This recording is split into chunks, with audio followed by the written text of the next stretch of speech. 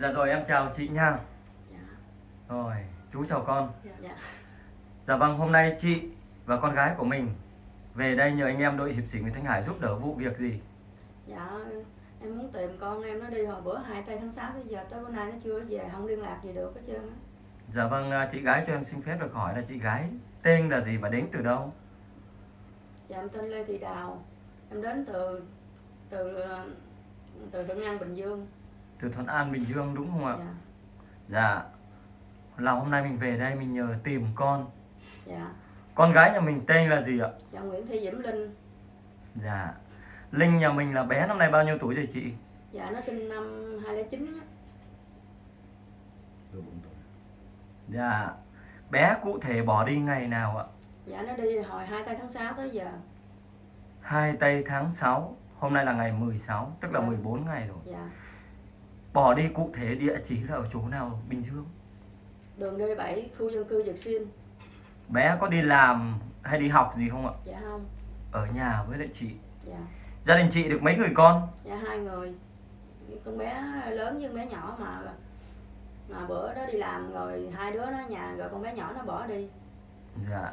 Trước khi đi thì bản thân chị có la giày gì con không? Dạ không. Không có la giày gì ha? Dạ Bé ở nhà bé có thường xuyên sử dụng điện thoại không? Dạ có. Sử dụng nhiều không ạ? Nhà nó nó ở nhà là nó chơi rồi chị đi làm chị cũng có hai đứa nó nhà chơi điện thoại đó.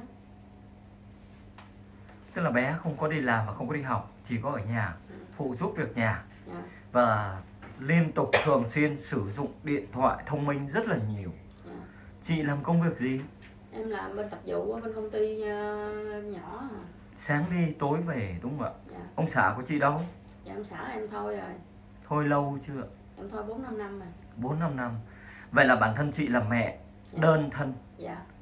Nuôi hai con. Dạ. Đúng không ạ? Và tới giờ phút này thì thật sự rất là buồn Bởi vì con gái nhà mình hiện tại bây giờ chưa biết ở đâu làm gì. Dạ. Tất cả các cái mối quan hệ bạn bè của con gái nhà mình Bản thân chị nắm bắt được không? Em đi kiếm mà không có không đứa nào liên lạc được với nó á Tức là không có tin tức gì đúng không ạ? Dạ không. Trường hợp này chị đã báo cơ quan chức năng ở nơi mình tạm trú chưa? Dạ rồi em báo công an của phường An Phú rồi. Dạ. Vậy là mình không liên lạc được với con luôn. Dạ từ bữa đi tới giờ đã cắt liên lạc luôn. Khi đi thì con gái nhà mình có đem theo quần áo, tài sản, không có phương đem tiện gì gì hết. không? nhà hết. Chị có nghi ngờ con gái nhà mình lần này đi vì lý do gì hoặc là ai dụ không? Tại bữa nó đi á, là có cái thằng bạn nó lên nhà chợ lên chở nó đi. Bạn trai, dạ bạn trai. Bạn đấy thì à, chị đã gặp chưa? nó lên xuống nhà hoài à rồi rồi chị điện cho thằng đó thì thằng đó nó nói là nó không có chở con này đi. Mà cái bữa thằng đó lên á là thằng đó cái bữa thằng đó lên là con nhỏ nó đi luôn tới giờ là không Bữa lên là cụ thể là ngày? Ngày hai ngày hai tháng tháng 6 luôn. Ngày 2 Chính cái ngày dạ. cái bạn trai đã lên cũng là cái ngày mà con mình cũng bỏ nhà đi ờ đi luôn á đúng ạ? dạ Và mình có liên lạc cho cậu đấy thì cậu đấy gọi là nói là không có chờ đi không có chở Cậu đi. đấy tên là gì ạ? dạ tên dẹo là tên của thường gọi bạn bè nó gọi nhau Quê quán ở đâu? quê nó ở sóc trăng mà nó ở nó ở dưới sài gòn ở vĩnh lộc b ở sài gòn dưới. Cái ờ, cậu này có thường xuyên lên nhà mình không? Lên khoảng bao nhiêu lần rồi chị nhớ không? nó lên từ bữa 28 cho tới bữa hai tây là gọi là nó rồi con nhỏ này đi luôn là tới giờ là, là con nhỏ này không có Trước kia đã từng lên nhà mình nhiều lần chưa? lên từ bữa 28 tháng 5 tới giờ không à 28 tháng 5 tới giờ là mấy lần cụ thể? thì lên Chị nhớ không? lên cỡ bốn năm lần à 4 5 lần có từng ăn cơm nhà mình chưa? có lên lên cũng ăn cơm gia đình tại vì thấy nó bạn bè nhau thôi rồi rồi nó lên thì thấy nó như vậy rủ nó vô ăn cơm chung luôn Vậy là đã ăn cơm nhà mình rồi Có Dạ. từng sinh ngủ lại qua đêm chưa? dạ chưa ngủ qua đêm Mối quan hệ giữa con gái nhà mình với cái cậu này là quen nhau qua đâu? Ở ngoài hay là qua mạng hay là qua ai giới thiệu? nó quen ở ngoài mà đi chơi chung với nhỏ này nữa nè Ồ. Con gái cho chú hỏi là cái cậu đấy, cậu dẹo đấy Dạ. Là bạn của ai? Dạ là kiểu như là bạn của ờ, bé đó trước xong rồi Là em của con Dạ đúng rồi Xong rồi Sao mà quen được em của con được? Dạ tại trước cũng kiểu như là chơi chung đồ Chơi ở đâu? Dạ ở dưới Sài Gòn Ồ, vậy là trước nhà mình ở dưới Sài Gòn hả? thì lúc trước em ở dưới sài gòn ở dưới À. uh, củ lê minh sinh á. Dạ, rồi mình biết chuyển về Bình Dương để lập nghiệp Dạ ở dưới Sài Gòn là quen ở giày trọ hay là như thế nào con gái dạ ở dưới Sài Gòn là cũng ở trọ ở trọ thì quen tức là cái cậu đấy cũng ở trọ luôn. Dạ đúng rồi ở kiểu như là Gần thuê nhau trọ ha. dạ. Tức là con có biết được rằng cái mối quan hệ của cậu đấy và em gái của mình là mối quan hệ tình yêu hay là bạn bè? Dạ kiểu như là nó cũng quen xong rồi có thương nhau không? Có thương ha. Dạ. Tức là trước giờ thì cậu đấy có dẫn em gái của con đi lần nào chưa? Dạ chưa. Lúc trước là nó chưa quen là nó cũng không có đi vậy đâu xong rồi nó Ừ. quen thằng này xong cái nó nó vậy vậy hả? Dạ. Tức là cái cậu dẹo này đã rủ em gái của con đi cà phê cà pháo chưa? Đi Dạ. trà sữa chưa? Dạ kiểu như là cũng có đi chơi này nọ. Những lần đi đấy mẹ có biết không? Dạ không. À vậy là giấu mẹ. Dạ. Nhưng mà bản thân con thì biết. Dạ. Sao con không nói cho mẹ nghe? Kiểu như là lúc đó là con cũng kiểu tự cũng chỉ ờ, coi tụi nó như bạn bè xong rồi đi ăn đi uống bình thường bây thôi, chứ giờ không có chú tới- hỏi thật này con phải trả lời thật này. Dạ. Có bao giờ cái cậu dẹo nó dẫn em gái của con đi cả ngày chơi cả ngày trời không? Dạ lúc trước là tụi nó ở dưới ở chung. Hai đứa ở chung? Ở với ở với ba mẹ. Ở ồ. với ba mẹ của thằng đó luôn. Tức là em gái em gái của con là về nó sống chung luôn Dạ. sống chung lâu không? Dạ cỡ hai ba tháng. Ồ chị có biết điều đấy không? Thì ờ, lúc đó em nó chỉ bỏ nhà nó đi em đâu biết nó ở với ai. Tức là chị bỏ nhà đi đã từng bỏ nhà đi rồi. Thời điểm nó lâu chưa? Rồi tháng ờ, cũng ba cũng ba tháng rồi ba tháng rồi. 3 tháng bỏ nhà đi khoảng bao lâu? Hai tháng. Bỏ nhà đi 2 tháng là về nhà cậu dẹo đấy ở chung em không biết nó ở đâu. Chỉ có con bé này nó biết. Rồi tại, con gái. Tại con bé này nó đi với nó nè. Chú xin phép ờ, con gái cho chú cũng như cho tất cả cô chú cộng đồng mạng được biết con tên là gì? Dạ con tên my. My ha? Dạ. Rồi My cho chú cũng như cho tất cả cô chú Dạ. ông bà cô bác cộng đồng mạng được biết cái sự việc chi tiết rõ ràng hơn. Là em gái của con quen với cái cậu dẹo đó về sống chung cụ thể là hai tháng hay là 3 tháng? Dạ như tính từ lúc nó đi luôn là cũng cỡ hai ba tháng. Hai ba tháng dạ. là ở chung? Dạ đúng rồi ở chung. Lúc đấy là mẹ con có biết không? Dạ không. Mẹ không biết rồi mẹ với con con là con là người biết. Dạ con biết nhưng mà con không không ở chung với hai nó con ở bên nhà bạn. Hai đứa nó đi. Ồ thế là con cũng bỏ đi luôn. Ừ hai đứa nó đi. Không lúc đó con đi về quê xong con lên con mới đi qua bên em con. Nhưng mà con hai chị em đi hai chị em đi có nói với mẹ biết không. Lý do sao lại không nói? Dạ tại lúc đó mà chị đi làm ở nhà hai đứa nó Gòn. đồ nó Dạ, rồi. nó nói về nó về quê. Dạ chị gái cho em uh, xin phép được chuyện trò với con gái nhà mình đi. Dạ. Ờ, con gái nhưng mà sao con lại đi? Có ai rủ dê đi không? Dạ không lúc đó tại con định đi về quê dưới cà mau. Về Cà Mau làm gì? Dạ về với chú tư. Chú tư là chú bên nội hay bên ngoại? Dạ bên nội. Bên nội ha. Xong rồi rồi lúc đó là tụi con xuống củ chi là ở dưới chú tư á xong Ừ. rồi cái ờ, cái mấy kiểu như là lúc đó ông ở dưới không có ai quen biết hết. Vậy là đi 3 tháng về trước. Vậy hôm nay tháng 6 hồi đi thôi tháng 2 tháng 3 hả? Dạ đúng. Vậy là con với em con dạ, gom đồ. Dạ không có xách cái ba lô thôi. Có tiền không? Dạ không. Mang nhiều quần áo không? Dạ không có cái ba lô nhỏ. Vậy là con cũng đi 3 tháng. Dạ. Con ở nhà chú tư còn em của con thì Dạ. ở với cái cậu dẹo đấy. Dạ không có trên sài gòn luôn. Con ở trên sài gòn. Ở gần cái chỗ cậu dẹo đấy luôn dạ đúng rồi cũng gần lắm chứ ở đó con ở với ai? Dạ con ở với ờ, nhỏ bạn con. Nhỏ bạn hay là bạn trai? Dạ không ở với gái. Phải không? Dạ. Chắc không? Dạ chắc. Còn em của con thì lại ở với lại cái bạn trai đấy. Dạ. Ở chung hơn 2 tháng trời gần 3 tháng trời. Dạ. ăn ở nhà người ta đúng không ạ? Rồi sao ờ, không điện cho mẹ? Đi mà không điện cho mẹ? Dạ. Lý do gì không điện cho mẹ biết? Dạ lâu lâu cũng giận mẹ hay như thế nào dạ cũng giận giận mẹ chuyện gì? Nói chú nghe nào. Dạ. Giận mẹ chuyện gì? Hôm nay chú sẽ phân tích cho con hiểu được nha. Đúng ra con là chị cả trong nhà chị hai ấy. Con không nên làm như vậy. Con mới 17 tuổi thôi đúng không? Con phải thương mẹ nhiều. Bởi sao? Bởi hiện tại bây giờ mẹ có mình à. Mẹ phải lao động vất vả để mà kiếm tiền về nuôi con, nuôi em con. Mình phải thương mẹ chứ đường này mày cả hai chị em mà bỏ đi như vậy rồi mẹ biết đi đâu, về đâu, tìm ở đâu. Rồi sao mẹ có tinh thần, mẹ làm việc, có sức khỏe được? Không đúng không? Nhưng mà con có thấy hối hận cái lần đi đấy không? Hối hận không? Hai đứa đi ba, hai đứa đi hai tháng trời không biết đâu chứ. Cái chừng thêm hai nó điện thêm hai nó cái nó mướn nhà gần em là chị. Nếu bây giờ chú nói con gái nghe nè.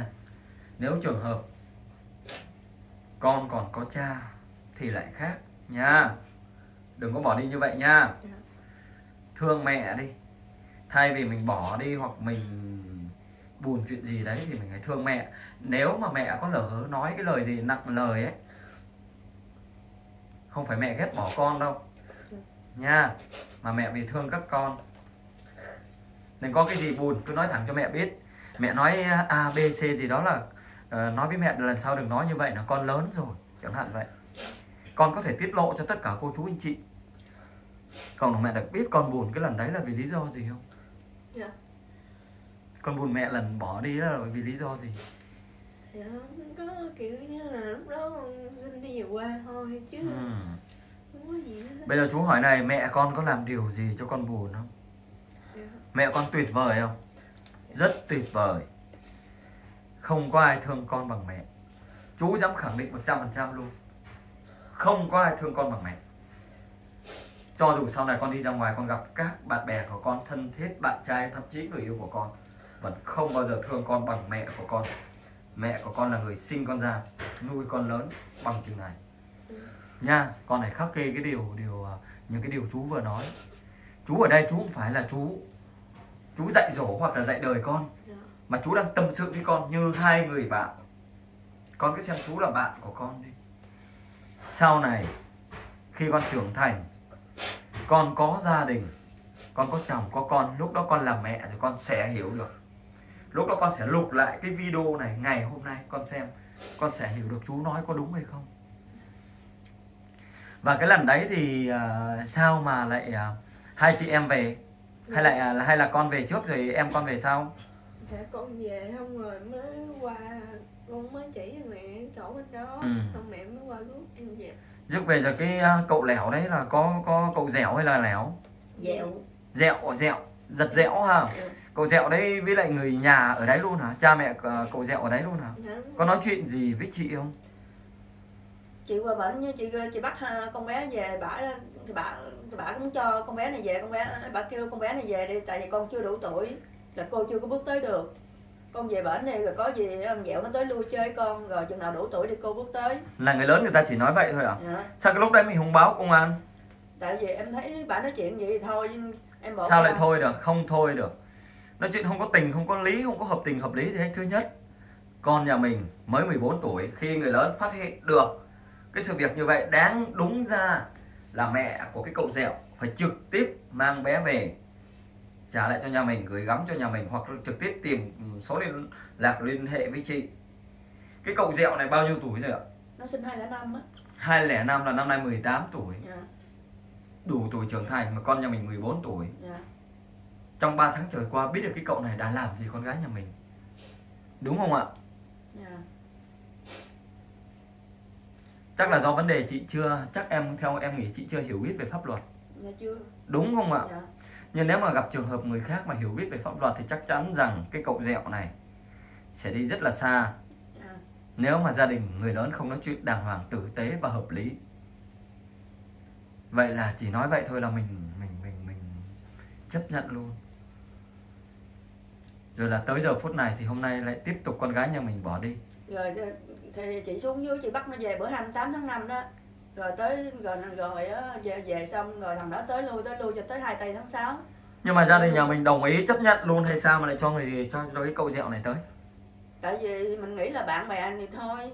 Tới giờ phút đấy sao mình nghĩ bạn bè được? Tới giờ phút đấy là không còn bạn bè nữa mà quan hệ trên cái mức là tình yêu rồi con nhà mình thật sự 14 tuổi ăn chưa no lo chưa tới biết gì mà yêu. Đúng không ạ? Dạ. bản thân chị có sợ rằng nếu hai người quen nhau cái cậu kia mà gây ra một cái hậu quả nghiêm trọng với con gái nhà mình chị có sợ điều đấy không? Thì, thì chị cũng sợ. Rồi chị sợ rồi thêm hai nữa chị sợ nếu mà chị cấm á. Tại vì con nhỏ này nó hâm chị nó nói nếu mà nếu mà chị cấm là nó tự giận nó chết. Rất buồn ha vậy là chị bất lực một người mẹ bất lực với con.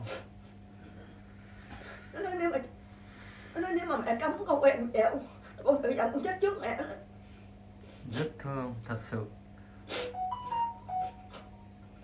Chị mới không làm lớn chuyện lên vậy là cuối cùng thì trời không chịu đất thì đất cũng phải chịu trời. Là chị phải nghe theo con chiều theo ý của con. Tới ngày hôm nay luôn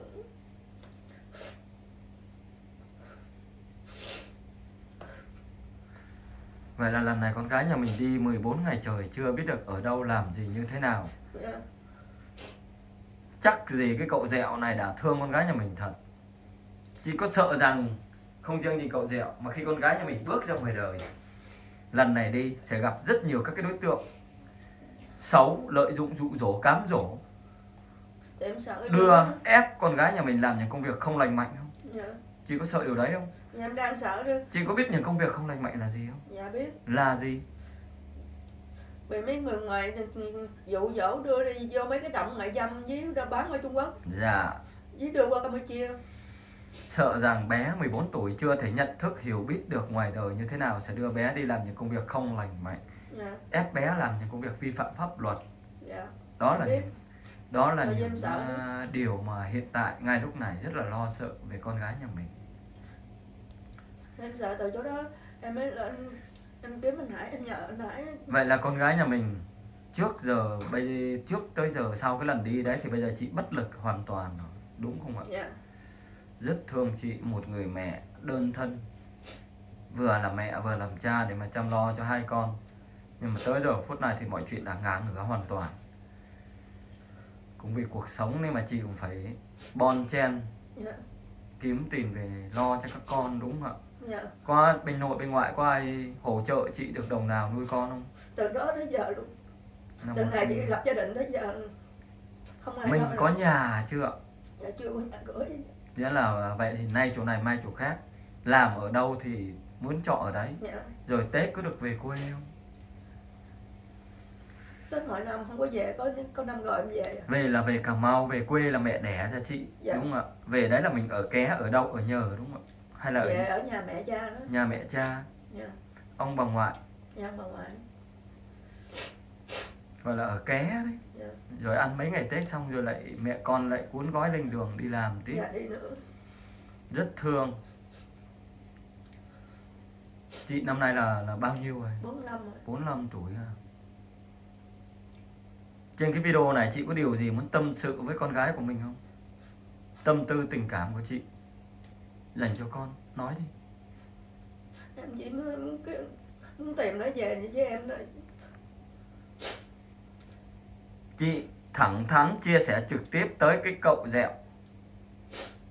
Nếu mà lần này dẫn con gái nhà mình đi dạ. cho cơ hội 3 ngày. Nếu không mang con gái nhà mình đi thì không bỏ qua như cái lần trước nữa. Dạ. Mà chắc là chắn lần này sẽ đưa ra cơ quan chức năng. Dạ. Công an để làm việc dạ. Bởi vì con gái nhà mình 14 tuổi. Thật sự nếu mà cậu này dần đi và có ý đồ xấu thì lần này cho cậu đi xa. Dạ. Nhiều mùa xuân. Dạ. Gọi là ăn tết xa gia đình. Đó Dạ. là cái điều chắc chắn. Bởi vì Em con gái nhà mình 14 tuổi đang tuổi dưới tuổi vị thành niên. Dạ muốn gì á? Chị nói đi. Thẳng thắn lên. Cho cơ hội 3 ngày mang con về trả. Dạ ơi chứ mà cô cho con ờ, trong vòng 3 ngày con đem máy linh về cho cô còn còn nếu không ờ, không? Mang về thì chắc chắn phải chịu hoàn toàn trách nhiệm trước pháp luật. Lần này là không bỏ qua nữa. Nếu con không đem máy linh về là cô thưa công an là là con chịu trách nhiệm hoàn toàn đó nha. Rất buồn. Con gái này à my. Nghiêm túc cho chú nào. My có điều gì muốn tâm sự với em không? Ừ, nói đi để em về con có thương em không con gái có thương nói không nghe đâu. không nghe cũng phải nói. Bây giờ chú hỏi này con gái có thương em không? Ở nhà hai chị em có cự lộn không? Có. Cự lộn nhiều không? Cự lộn này xưng hô sao? Dạ. Mày tao hay là chị em? Dạ mày ta mày tao có đánh nhau không? Hai chị em có bao giờ đánh nhau không? Đánh nhau vì điều gì con này giận con kia cứng đầu. Thôi thì ờ, mình làm chị mình nhường em đi ha. Làm chị khó đấy phải đâu chuyện đùa mình nhường em đi. Giờ nhà có mỗi mẹ à? Nghe lời chú nói đi để cho cho cho em về. Trưởng thành rồi 17 tuổi sang năm 18 tuổi rồi nhá. Nói đi con. Nói về với mẹ về với chị.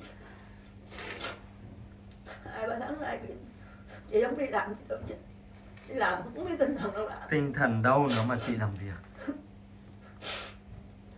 khi mà em khi mà em về nhường em nhá đừng la em mới nữa. kiếm em còn này nhá. nữa thật sự mà nói qua cái câu chuyện của mẹ của con nhờ các chú đi tìm em của con thì lại tình cờ lại tiết ra một cái sự thật đó là chính con và em của con cũng đã từng bỏ nhà đi mấy tháng trời bây giờ trên cái video này trước mặt mẹ trước mặt các chú và toàn thể ông bà cô bác anh chị trên cộng đồng mạng con hứa đi. Con làm chị con có bỏ đi như vậy không dạ không. Con hứa như thế nào? Em hứa là con sẽ nghe lời mẹ không? Dạ. Có bỏ đi nữa không? Dạ không. Phải thương mẹ nhiều thương gấp trăm gấp ngàn lần. Nha. Con phải là người đồng hành cùng với mẹ để chăm lo cho em. Bây giờ chú muốn con khoanh tay xin lỗi mẹ với cái lần lần trước con bỏ nhà đi. Ngay lúc này con làm được điều đấy không?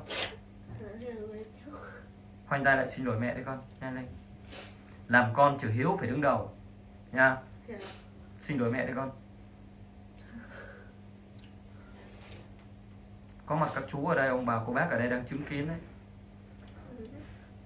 Khoanh tay lại xin lỗi mẹ. Hứa nha, đừng bỏ đi này nha phải thương mẹ gấp trăm gấp ngàn lần nha tất cả mọi thứ bên ngoài chỉ là gọi là những cái lúc ham chơi chỉ là một phút thôi nha rồi thì uh, chị và con gái còn điều gì muốn tâm sự được không ha? Em chỉ muốn kêu con bé linh dạo nó đem bé linh về trả cho em lại thôi. Dạ. Thời gian vừa qua, đội hiệp sĩ Nguyễn Thanh Hải đã ghi nhận rất nhiều các vụ việc về tình trạng các thanh niên dụ dỗ giật dẫn các bé gái dạ. tuổi đời 12, 13, 14 tuổi thì gọi là trẻ em dưới tuổi vị thành niên và có rất nhiều thanh niên. Em nói thẳng luôn dạ. là đã quan hệ quan hệ với các em dưới tuổi vị thành niên gọi là giao cấu đấy dạ. và chịu cái mức án rất là lớn. Nên mà hy vọng rằng cái cậu dẹo này nếu có dẫn con gái nhà mình đi hãy nhanh chóng đưa con gái nhà mình quay trở về. Dạ Một ngày gần nhất. còn nếu cố tình ngoan cố mà cứ dẫn đi gọi là không à, đưa bé về thì chắc chắn rằng cái cậu này sẽ chịu một khung hình phạt rất là lớn. Dạ. và lần này em mong chị đủ tỉnh táo không bỏ qua nữa. Dạ. Nếu thật sự mà câu chuyện mà đúng cho cậu dẹo này dẫn đi như vậy thì cậu này mà ngoan cố không dẫn con gái nhà mình đi thì cho cậu này ra cơ quan công an chị nhá dạ. Dạ rồi nếu cô chú anh chị có thấy bé linh đúng không ạ? Dạ bé linh. Như trong hình ở đâu thì làm ơn liên hệ về với số của đội hiệp sĩ Nguyễn Thanh Hải. 0913785858 để đội hiệp sĩ Nguyễn Thanh Hải đưa bé sớm quay trở về à, đoàn tụ cùng với mẹ với lại gia đình.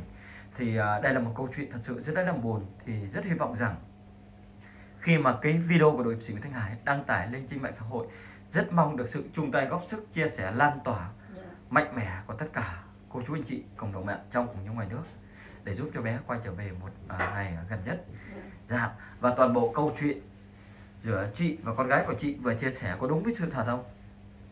Dạ. Có đúng với sự thật không? Dạ đúng như thật. Nếu có gì sai trái hai mẹ con sẽ chịu hoàn toàn trách nhiệm trước. Dạ trước pháp luật.